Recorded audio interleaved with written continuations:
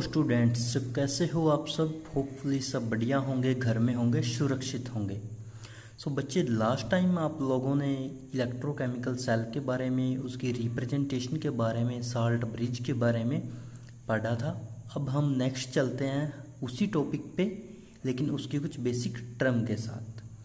सो so, बच्चे हमारे पास पहली जो टर्म होती है वो है electrode potential what is electrode potential तो देखिए क्या कहता है कि it is defined as the ability of a electrode to gain और lose electron in connect with those ions क्या कहता है कि कोई भी एक ऐसी इलेक्ट्रोड जिसकी क्या एबिलिटी है कि वो इलेक्ट्रॉन को या तो गेन कर ले या इलेक्ट्रॉन को वो लूज कर दे। ठीक है? और वो कहता किसके साथ कनेक्ट में है? आयंस के साथ। उसे हम क्या बोल देते हैं? इलेक्ट्रोड पोटेंशियल उसके बाद एक नेक्स्ट टर्म आती है दैट इज़ ऑक्सीडेशन इलेक्ट्रोड आप लोगों ने पढ़ा भी है ऑक्सीडेशन इलेक्ट्रोड और रिडक्शन इलेक्ट्रोड सो देखिए ऑक्सीडेशन इलेक्ट्रोड क्या कहता है? It is a electrode at which oxidation occurs कि वो इलेक्ट्रोड जिसके ऊपर क्या होती है? ऑक्सीडेशन की प्रोसेस होती है। Occurs due to the release of electron और किसकी वजह से होती है वो प्रोसेस रिलीज़ ऑफ़ इलेक्ट्रॉन्स की वजह से। यानी कि हम ये कह सकते हैं कि उस इलेक्ट्रोड के ऊपर ऑक्सीडेशन होती है, किसकी वजह से? इलेक्ट्रॉन के रिलीज़ होने की वजह से लॉस होने की वजह से। And its potential is called oxidation potential उस इलेक्ट्रोड के पोटेंशियल को हम क्या बोल देंगे? ऑक्सीडेशन पोटेंशियल और उस इलेक्ट्रोड को क्या बोल देंगे? ऑक्सीडेशन इलेक्ट्रोड जिस इलेक्ट्रॉन से इलेक्ट्रॉन रिलीज़ हुए हैं। ठीक है? उसके बाद है next term that is reduction potential अब रिडक्शन पोटेंशियल क्या होता है? ऑक्सीडेशन का अपोजिट देखिए कैसे? It is a electrode at which the reduction occurs कि वो इलेक्ट्रोड जिसके ऊपर क्या हुई हो? रिडक्शन की प्रोसेस हुई हो। Due to the gaining of electron और रिडक्शन किस वजह से होती है? गेनिंग ऑफ़ इलेक्ट्रॉन्स की वजह से। ठीक है? And its potential is called reduction potential और उसके पोटेंशियल को हम क्या बोल देंगे? रिडक्शन पोटेंशियल यानी कि एक इलेक्ट्रोड है, उस इलेक्ट्रोड के ऊपर रिडक्शन हुई है। रिडक्शन क्यों हुई? गेनिंग ऑफ़ इलेक्ट्रॉन्स की वजह से। एंड इट्स पोटेंशियल और उस इलेक्ट्रोड के पोटेंशियल को हम बोल देंगे रिडक्शन पोटेंशियल उस इलेक्ट्रोड को बोल देंगे रिडक्शन इलेक्ट्रोड उस प्रोसेस को बोल देंगे रिडक्शन किसकी वजह से? गेनिंग ऑफ़ इलेक्ट्रॉन्स ठीक है? उसके बाद देखिए नेक्स्ट नेक्स्ट है हमारे पास स्टैंडर्ड इलेक्ट्रोड पोटेंशियल अब ये क्या है? Standard electrode potential it is defined as a potential of a electrode having solution of its own ions at 298 Kelvin and 1 molar concentration. क्या कहता है कि एक इलेक्ट्रोड है? ठीक है, वो इलेक्ट्रोड कहता है उसी के आयंस के अंदर है और उस दौरान जो टेम्परेचर होगा वो 298 केल्विन होगा और जो कंसंट्रेशन होगी वो कितनी होगी? वन मोलर कंसंट्रेशन ठीक है? तो उस दौरान इन कंडीशन के दौरान उस इलेक्ट्रोड का जितना पोटेंशियल होगा that potential is known as standard electrode potential क्योंकि यहाँ पे क्या आ गई? स्टैंडर्ड आ गई। स्टैंडर्ड का मतलब स्टैंडर्ड कंडीशन और वो कौन कौन सी? कि 298 कैल्विन टेम्परेचर होगा और वन मोलर कंसेंट्रेशन होगी।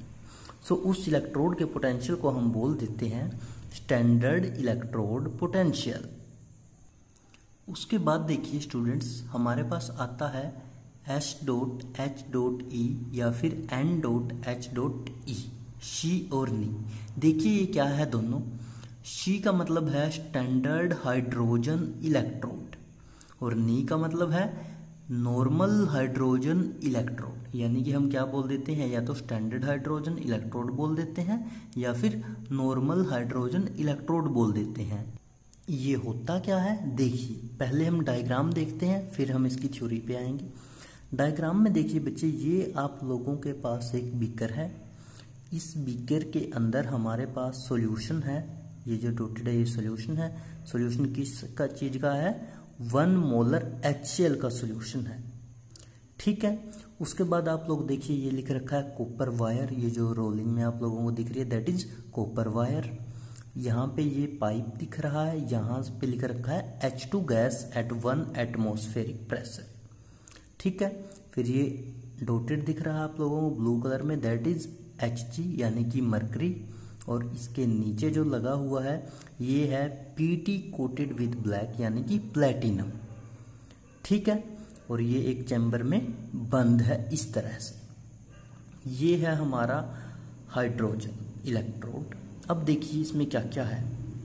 कहता in this electrode the one molar H L solution is taken as electrolytic solution कहता, इस बीकर में जो सोल्यूशन है वन मोलर एल सोल्यूशन कहता, इस वन मोलर एल सोल्यूशन को हम लेके चलते हैं as a electrolytic solution and H two gas at one atmospheric is passed through it और ये जो पाइप आप लोगों को दिख रहा है, जहाँ पे हमने लिखा है कि एच टू गैस कहता है यहाँ से एच टू गैस पास करवाई जाती है और जिसका प्रेशर रहता है one atmospheric the temperature is maintained at 298 kelvin कहता है इस सिस्टम का जो टेम्परेचर मेंटेन करके रखते हैं, वो रखते हैं 298 kelvin it can act as both oxidation and as well as reduction potential कहता है, ये जो सिस्टम है फिर हमारा, इन सारी कंडीशंस की वजह से सोल्यूशन की वजह से हाइड्रोजन गैस की वजह से कुपर वायर की वजह से मरकरी की वजह से स्टैंडर्ड कंडीशन की वजह से, कहता, क्या करता है ये? एक्ट करता है एज ऑक्सीडेशन भी और रिडक्शन भी. ठीक है? यानी कि यहाँ पे ऑक्सीडेशन पोटेंशियल भी होगा और रिडक्शन पोटेंशियल भी होगा। ये है हमारा स्टैंडर्ड हाइड्रोजन इलेक्ट्रोड अब देखिए बच्चे नेक्स्ट नेक्स्ट आता है हमारे पास ई एम एफ़ आप लोगों ने फिजिक्स में भी शायद पढ़ा होगा प्लस वन में भी प्लस टू में भी, और केमिस्ट्री में भी आता है, ये आगे भी आएगा. ईएमएफ ईएमएफ क्या होता है? इलेक्ट्रोमोटिव फोर्स यानी कि तो चलो इसकी फुल फॉर्म होगी, ये होता क्या है? कहता it is defined as the sum of oxidation potential and reduction potential of a cell यानी कि किसी सेल का जो ऑक्सीडेशन पोटेंशियल है और जो रिडक्शन पोटेंशियल है, उन दोनों का जो सम होगा that is equal to E M F ठीक है? यानी कि ऑक्सीडेशन पोटेंशियल रिडक्शन पोटेंशियल जब दोनों की वैल्यू को सम करेंगे तो वो हमारा क्या निकल के आएगा? E M F electromotive force आगे देखिए बच्चे ई एम एफ़ का हम अब फॉर्मूला बताते हैं कि ईएमएफ कहता किसके इक्वल होती है? Oxidation potential of a cell plus में reduction potential of a cell ठीक है, ये हमें पता है।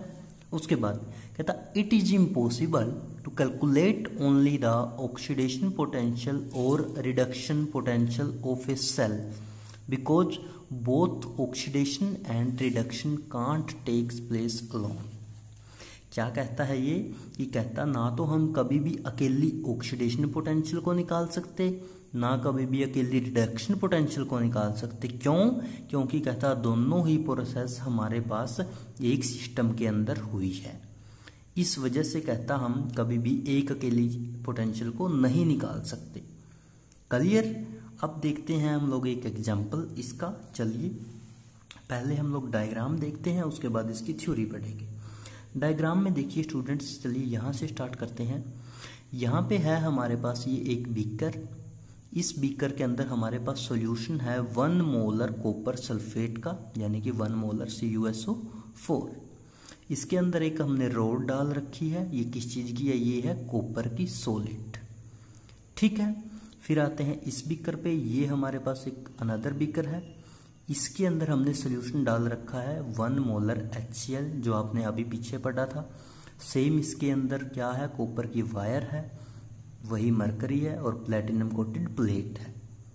ठीक है, यानी कि ये स्टैंडर्ड हाइड्रोजन इलेक्ट्रोड इसमें ऐड कर रखा है, किसके साथ? With one molar C U S O four solution के साथ। ठीक है, दोनों रोड्स को हमने क्या कर दिया बच्चे? कनेक्ट कर दिया। वोल्ट मीटर से। ठीक है, अब इसमें एक नई चीज़ आ गई है, देखिए ये ये देखिए, ये क्या है? वही साल्ट ब्रिज। ठीक है, जो क्या करेगा? आयंस को एक्सचेंज करने में हेल्प। ये है हमारा जर्नल डायग्राम। अब देखते हैं इसमें क्या क्या है और क्या क्या रिएक्शंस यहाँ पे हुई है। देखिए, कहता रिप्रेजेंटेशन ऑफ़ द सेल इस सेल को हम कैसे रिप्रेजेंट करेंगे? कहता एच टू एटमोसफेयर यानी कि one atmosphere slash two H positive जो ये एच टू थी, जो यहाँ पे हमने ये शो कर रखी है बच्चे, यहाँ पे ये हमारा पाइप था, जहाँ पे हमने लिखा था कि H two gas at one atmospheric ठीक है? तो कहता एच टू वन एटमोसफेयर वो कन्वर्ट हुई किसमें two H positive one molar जिनकी कंसेंट्रेशन थी। ठीक है? फिर डबल स्लैश इस आगे क्या है हमारे पास? कॉपर की रोड थी। कॉपर का ही सोल्यूशन था सी फोर का सी फोर को ब्रेक डाउन करेंगे तो यानी कि सी यू टू प्लस और S O four two minus ठीक है तो ये हमारे पास क्या बन गया? सी यू टू पॉजिटिव जिसकी कंसेंट्रेशन कितनी है? वन मोलर ये किसमें कन्वर्ट होगा? After accepting the electron which are release by H two it converted into C U solid clear दोबारा देख लीजिए कि क्या क्या हुआ है। जो हाइड्रोजन थी, उसने इलेक्ट्रॉन्स को लूज किए and it converted into H positive वही इलेक्ट्रॉन एक्सेप्ट किए कॉपर ने, जो सी यू टू पॉजिटिव था and it converted into C U solid clear अब देखते हैं इसकी ई एम एफ़ अब बातें हैं ई एम एफ़ पे। तो ई एम एफ़ क्या होगी बच्चे? पता है फॉर्मूला अभी पढ़ा था।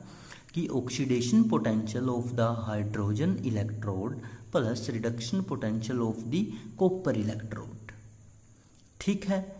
अब ऑक्सीडेशन पोटेंशियल किसका दिखा है इसने? हाइड्रोजन इलेक्ट्रोड का। कौन सा? हाइड्रोजन इलेक्ट्रोड इस बीकर वाला। लेफ़्ट हैंड साइड ठीक है? और रिडक्शन पोटेंशियल कहता किसका है? कॉपर इलेक्ट्रोड का, जो इसमें हुआ। तो इन दोनों पोटेंशियल का जो सम होगा, वो इक्वल आएगा हमारे ईएमएफ ऑफ़ सेल के। ठीक है, देखते हैं क्या है। इसका जो ईएमएफ है, उसने हमें दे दिया।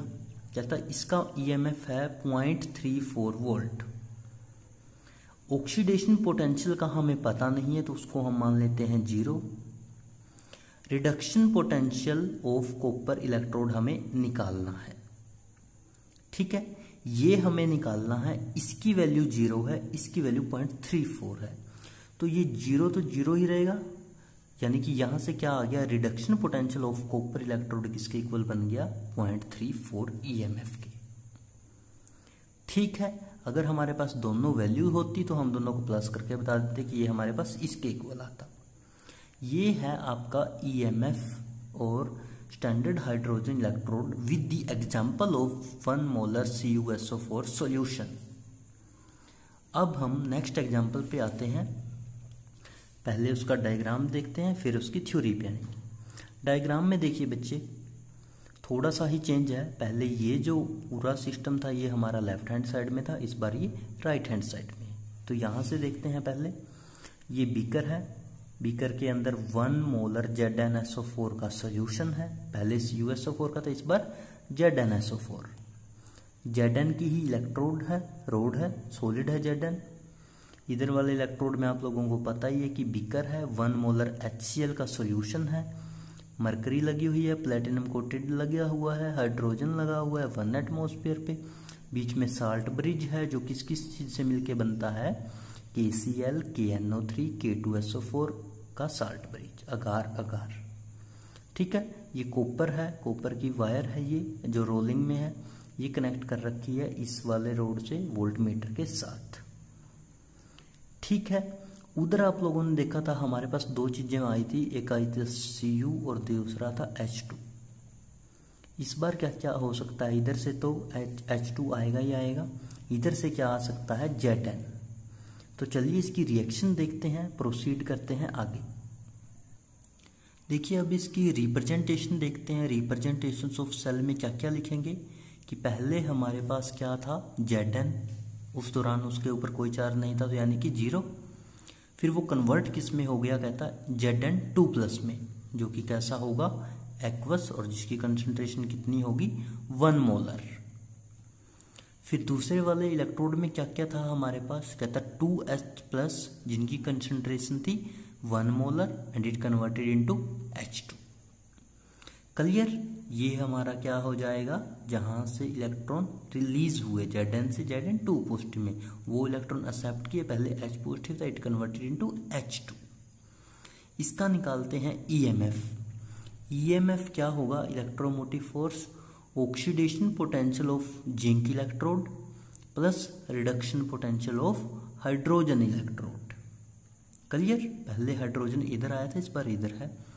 यहाँ पे ऑक्सीडेशन पोटेंशियल जिंक इलेक्ट्रोड का, यहाँ पे रिडक्शन पोटेंशियल किसका? हाइड्रोजन इलेक्ट्रोड का। तो ईएमएफ की वैल्यू उसने दे दी point seven six oxidation potential Z N electrode का हमें निकालना है। रिडक्शन पोटेंशियल हाइड्रोजन इलेक्ट्रोड का ज़ीरो है। तो oxidation potential of zinc electrode किसके इक्वल आ गया? ईएमएफ के that is point seven six is it clear यहाँ तक किसी को कोई डाउट है तो ज़रूर बताएँ। कमेंट कर दीजिए आप लोग साथ साथ उसके बाद देखिए ऑक्सीडेशन पोटेंशियल कहता है जो ऑक्सीडेशन पोटेंशियल होता है, वो किसके इक्वल है? माइनस रिडक्शन पोटेंशियल के। यानी कि एक टाइप से एक नया फॉर्मूला मिल गया आप लोगों को कि oxidation potential is equal to minus reduction potential ठीक है बच्चे? आगे देखिए, आगे कहता है the spontaneity of the reaction for a redox reaction to be E M F should be positive कहता, जो रिडोक्स रिएक्शन होती है, उनका जो ईएमएफ है, वो हमेशा कैसा रहता है? पॉजिटिव रहता है। यानी कि ई एम एफ़ की जो टोटल वैल्यू होगी, वो नेगेटिव नहीं होगी। ठीक है? आगे देखिए, एक क्वेश्चन है हमारे पास न्यूमेरिकल छोटा सा। कहता can nickel spatula be use to stir the solution at copper sulphate of copper sulphate कि हम क्या कहता कॉपर सल्फेट के सोल्यूशन को हम निकल स्पैचुला के साथ स्टीर कर सकते हैं, घुमा सकते हैं। यहाँ पे उसने नोट एन आई यानी कि निकल कन्वर्ट हुआ एन आई टू पोस्ट में, उसकी वैल्यू दी पॉइंट टू फाइव वोल्ट और E naught copper two copper two positive की वैल्यू दी minus point three four volt अब हमें देखना है कि हम निकल से उसको स्टेर कर सकते हैं या नहीं कर सकते। पहले रिएक्शन देखिए बच्चे। रिएक्शन है, कहता हमारे पास एन आई है, निकल है। प्लस में क्या है? C U S O four C U S O four को ब्रेक डाउन करके लिखे तो कैसे लिख देंगे? C U two plus S O four two negative two negative show नहीं किया मैंने। उसके बाद कहता है, जब दोनों की रिएक्शन होगी तो it converted into C U solid form में आ जाएगा और जो एन आई है और एस ओ फोर है, ये दोनों आपस में मिलके N I S O four बना लेगा निकल सल्फेट ठीक है? तो कहता, इस दौरान क्या हुआ होगा? अब इस दौरान ये हुआ है, पहले जो निकल के ऊपर कोई चार्ज नहीं था ज़ीरो था अब वो निकल कन्वर्ट हो गया है निकल टू प्लस में। यानी कि इसने खुद के दो इलेक्ट्रॉन लूज किए हैं। ठीक है? यहाँ पे है C U S O four ये C U S O four में देखा था, जो सी यू टू प्लस था, वो पहले ही टू प्लस में था। बट अब वो किसमें आ गया? ज़ीरो में। यानी कि वो जो दो इलेक्ट्रॉन निकल ने लूज किए थे, वो एक्सेप्ट कर लिए कॉपर ने। And it converted into C U solid clear तो अब देखते हैं हम लोग ईएमएफ e अब ईएमएफ e का फॉर्मूला पता ही है कि जितना ऑक्सीडेशन पोटेंशियल है प्लस में क्या कर देंगे? रिडक्शन पोटेंशियल ठीक है? देखते हैं, चलिए इसका फॉर्मूले के साथ इसको। एक छोटा सा फॉर्मूला बच्चे और है हमारे पास that is E reduction minus E oxidation क्या समझ में आया कि E reduction minus E oxidation तो इस फॉर्मूले के अकॉर्डिंग हम लोग इन वैल्यू को रखते हैं। ई e रिडक्शन की वैल्यू हमारी कितनी है? और ई e ऑक्सीडेशन की कितनी है? आप लोगों को पता है कहाँ ऑक्सीडेशन हुई है और कहाँ रिडक्शन हुई है। सिर्फ़ प्लस करें वैल्यू को और वैल्यू फाइंड आउट ये था हमारा यहाँ तक का इलेक्ट्रोकेमिकल का टॉपिक नेक्स्ट सेशन में हम कहेंगे नरनेस्ट इक्वेशन के बारे में, उसके इंट्रोडक्शन उसके न्यूमेरिकल उसकी थ्योरी एंड उसका कैलकुलेशन ठीक है? तब तक के लिए आप लोग वीडियो को देखिए, वीडियो पे कमेंट कीजिए आप लोगों को। कोई इसमें डाउट है, कोई भी परेशानी आप लोग हमें बताएँ चैनल को सब्सक्राइब कीजिए, वीडियो को लाइक कीजिए शेयर कीजिए। Thank you so much